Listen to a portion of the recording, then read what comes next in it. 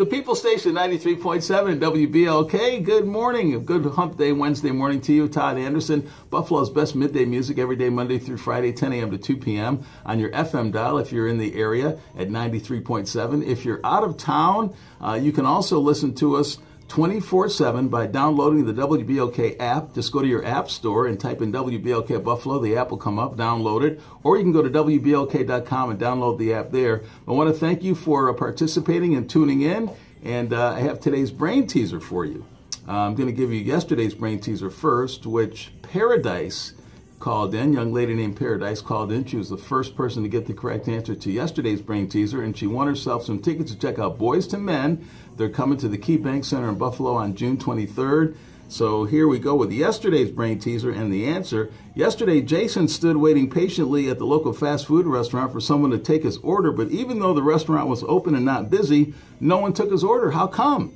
Well, that's because Jason was standing at the drive through window. They don't serve you at the drive through window, you got to be in a car. So that was yesterday. Congratulations, Paradise. And today's brain teaser at 716-644-9393. If you are the first person with the correct answer to today's brain teaser, you've got the tickets to check out Boyz II Men, and that's happening June 23rd at the KeyBank Center in Buffalo, New York. Here we go with today's brain teaser. Listen very, very closely. Brent completely emptied out his locker. Brent completely empties out his locker. The next time he opens the locker, something is in it, even though he has the only key. How did something get into his locker and what was it?